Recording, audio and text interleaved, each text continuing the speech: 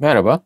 Bu videoda trigonometrik fonksiyonların türevini konuşalım ve bunun için hemen yine ezbere bilmemiz gereken iki tane basit trigonometrik türev söyleyeceğim. Tabii ki bunlar sinüs ve kosinüs olacak.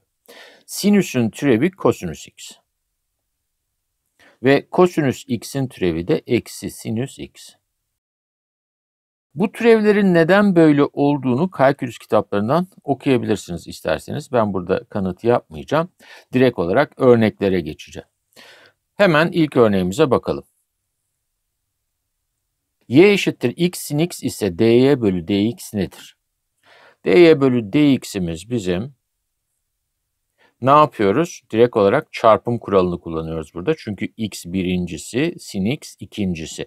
O zaman çarpım kuralında da ne yapıyoruz? Birincinin türevi yani x'in türevi 1 çarpı sin x yani ikinci artı ikincinin türevi yani sin x'in türevi cos x çarpı birinci yani x. İşte bitti. Her zaman olduğu gibi eğer sadeleştirme yapmanız gerekiyorsa ya da sizden sadeleştirme yapmanızı istiyorlarsa o zaman sadeleştirme yaparsınız. Şimdi de tanjant x ve kotanjant x'in türevlerine bakalım. Bunları bu şekilde sindeki ve kostaki gibi ezbere bilmeniz gerekmiyor. Ama tabii aklınızda tutarsanız iyi olur. Neden gerekmiyor ezbere bilmeniz? Çünkü tanjantı sin bölü kos diye yazarsınız. Kotanjantı kos bölü sin diye yazarsınız. Bölmenin kuralını uygularsınız. Aynen şimdi yapacağımız gibi. Tanjant için ne diyoruz? Sinüs bölü kosinüs diyoruz değil mi? O zaman bu d bölü dx sin x bölü cos x. Bu ne olur şimdi? Bölmenin kuralını yaparken yine ne yapıyoruz? Payın türevi yani cos x bizim sin x'in türevi çarpı payda yani yine cos x eksi paydanın türevi yani cos x'in türevi eksi sin x çarpı pay sin x bölü paydanın karesi cos kare x. Hemen tekrar dönüp kontrol ediyorum. Şablonu düzgün yazdım mı? Payın türevi çarpı payda eksi paydanın türevi çarpı pay bölü paydanın karesi. Türevleri doğru aldım mı? Sin x'in türevi cos x doğru. Cos x'in türevi eksi sin x doğru. Tamam her şey doğru burada. O zaman devam edeyim. Cos x çarpı cos x. Cos kare x. Eksi bir daha eksi gelecek buradan. Artı sin x çarpı sin x sin kare x. Bölü cos kare x. Cos kare x artı sin kare x biliyorsunuz 1. O zaman 1 bölü cos kare x. Yani o da nedir? 1 bölü cos x sekant olduğuna göre sekant kare x'tir. O zaman işte çıktı bize formül. d bölü dx tanjant x eşittir sekant kare x. Bunları muhakkak net bir şekilde ezberlemeniz gerekmiyor. Ama bir şekilde tanjantın sekantla alakalı olduğunu hatırlamanız beklenir sizden. Yani buradaki tanjantı yine sin bölü cos diye yazıp hemen bir dakika sürmeden yapabilirsiniz tabii ki. Şimdi gelelim kotanjanta.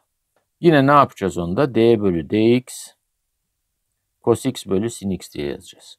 Şimdi türevi alalım. Payın türevi yani cos x'in türevi eksi sin x çarpı payda yani sin x eksi paydanın türevi yani sin x'in türevi cos x çarpı pay o da cos x bölü sin kare x paydanın karesi. Türevlere bakayım. Payın türevi cos x'in türevi eksi sin x tamam burada. Paydanın türevi sin x'in türevi cos x burada tamam. Sorun yok. Eşittir. Eksi sin kare x eksi cos kare x bölü sin kare x. Bu da ne verir bize? Eksi parantezine alsam burada sin kare x artı cos kare x yapar.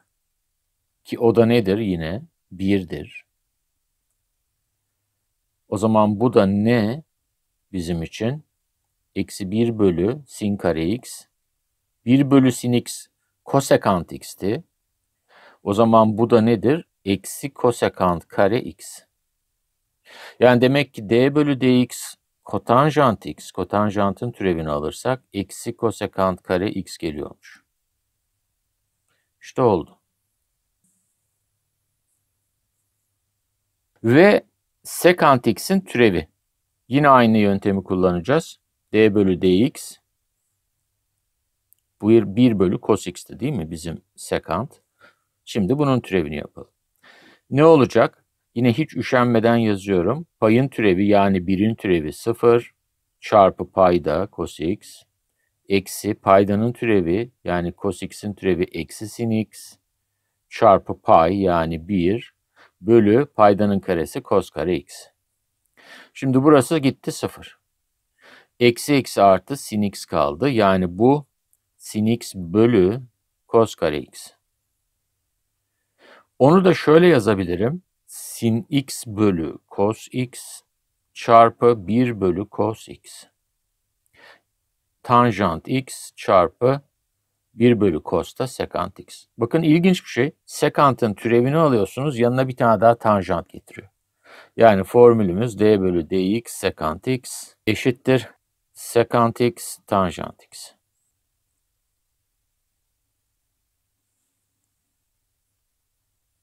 Ve tabii ki kosekant x. Bunun için de üşenmeden yapalım. d bölü dx 1 bölü sin x. Bunun türevini alacağız. Yine ne olacak? Payın türevi 1'in türevi 0 çarpı payda sin x eksi paydanın türevi sin x'in türevi cos x çarpı pay yani 1 bölü paydanın karesi sin kare x. Yine burası gitti 0. Ne kaldı? Eksi cos x bölü sin kare x. Yine aynı şekilde yazalım. Eksi cos x bölü sin x çarpı 1 bölü sin x. Bu eksi cos x bölü sin x ne yapacak bize? Eksi kotanjant x diyecek. 1 bölü sin x de kosekant x diyecek. Yani burada fazladan bir tane de eksi geliyor. Yanına bir de kotanjant geliyor.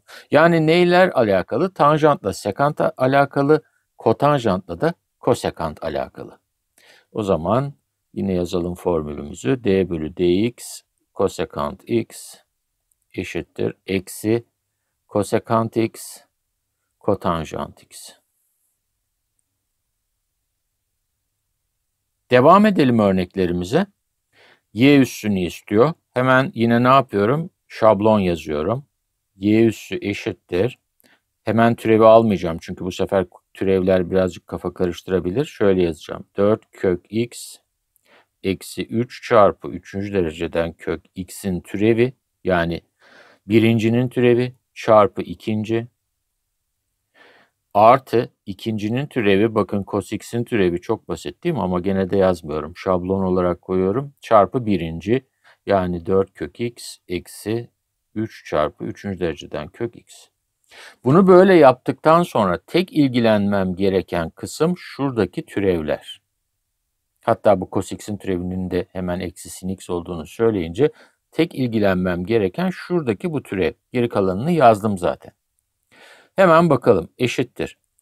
4 kök x'in türevi yine köşeli parantezde 4 kalıyor. Kök x'in türevi hatırlarsanız bulmuştuk 1 bölü 2 kök x. Ama hatırlamıyorsanız da kök x'i x üzeri 1 bölü 2 yazıp kuvvet kuralından türevi bulabilirsiniz.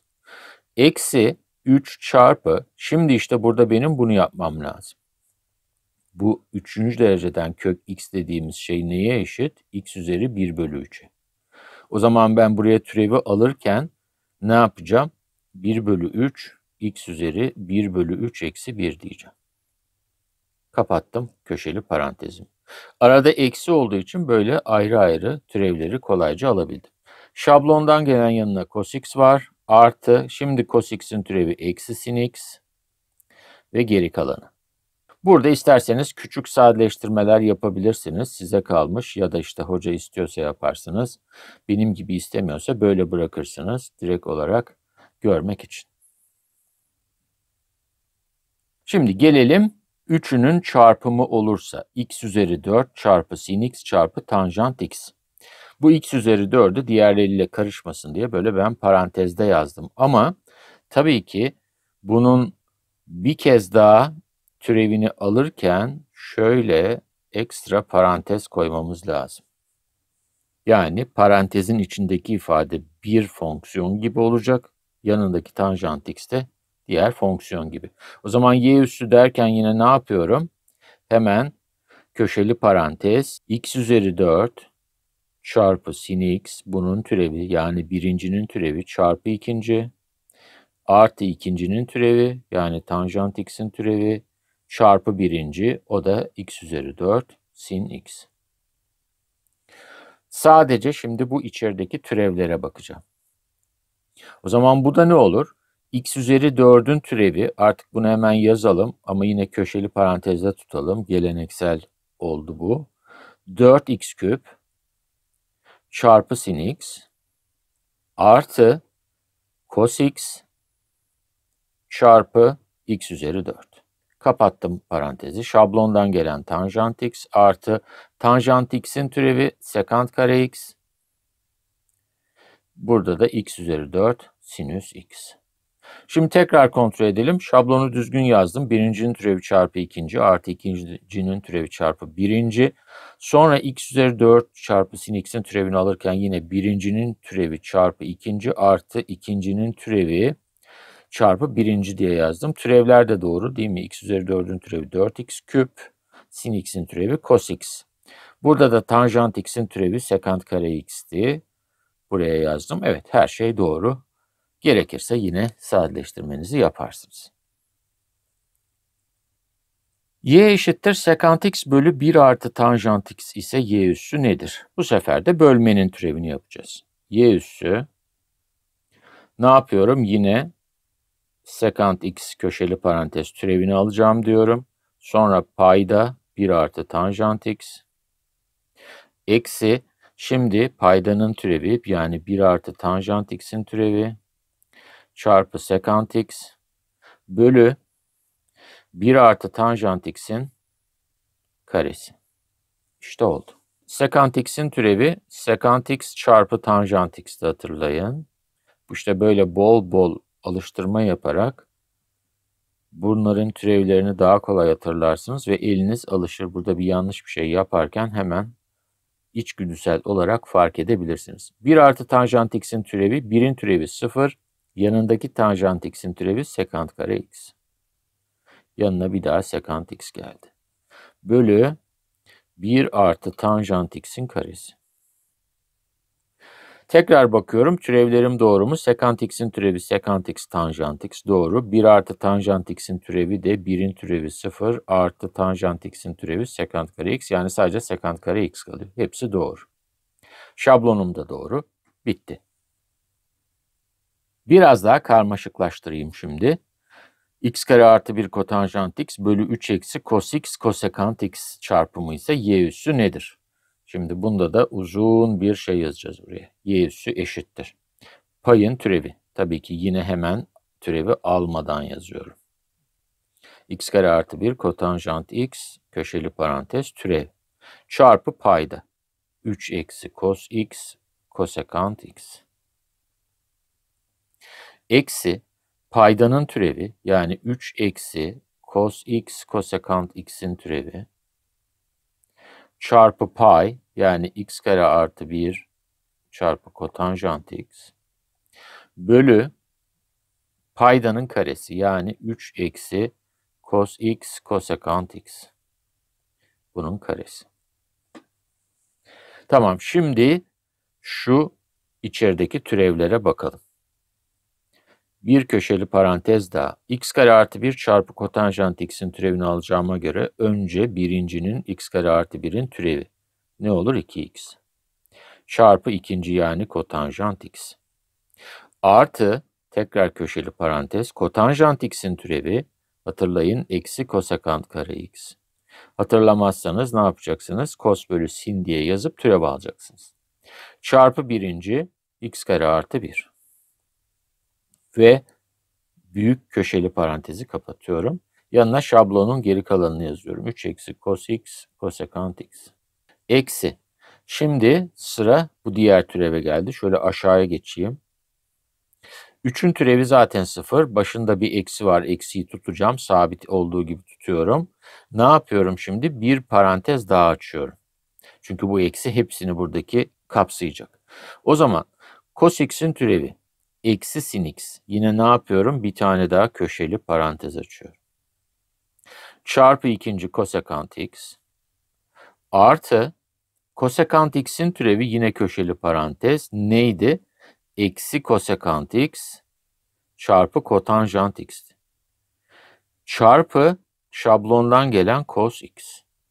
Ve şimdi şu eksi açmıştım ya bir parantez eksinin önünde. O parantezi kapatıyorum. Sonra bir de köşeli parantezi kapatıyorum. Ve çarpı yanına ne geldi? Şablondan x kare artı 1 kotanjant x geldi. Bölü paydası da belli zaten. 3 eksi cos x kosekant x kare. İşte bitti.